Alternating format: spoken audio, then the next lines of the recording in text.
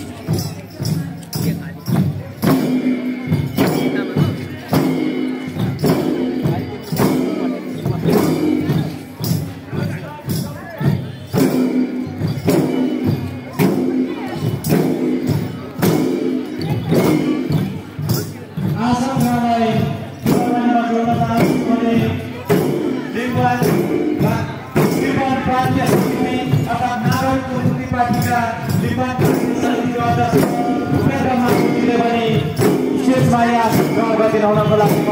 हार्दिक अनुरोध गर्न चाहन्छु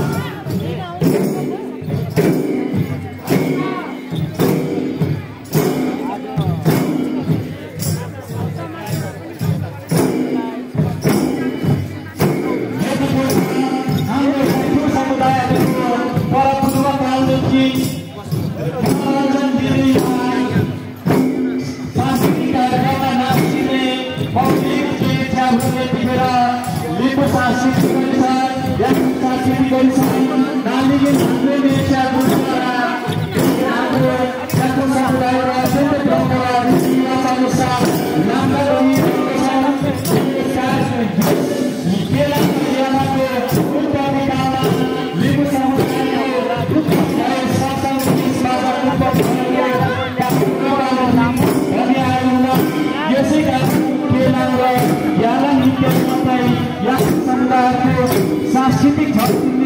र रञ्जन फुल्ने हाम्रो परम्परा हुनाले त्यसै अनुरूप यतिखेर कलाकारहरूले भव्य